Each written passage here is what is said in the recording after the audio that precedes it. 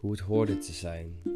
De adel en de macht, onderaan als basis, met gelimiteerde kracht, daarboven religie voor de openheid.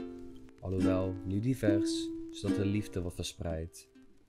Bovenop de burger, waar ons land uit bestaat, met alle saamhorigheid, waarbij ieder elkaar een waarde laat. Maar de laatste jaren voelt alles op zijn kop. Je zet de burger onderaan en de corruptie bovenop. Met een wanbeleid en niemand voor stemt. Met ontelbare drogredenen die de burger vastklemt. De leugen regeert, want men is te bang om zich uit te spreken tegen alle dwang. Het is de hoogste tijd het niet meer te negeren en om op te staan tegen de regering. Met blauw-wit-rood, hangend aan een stok, om te laten zien dat dit niet meer klopt. you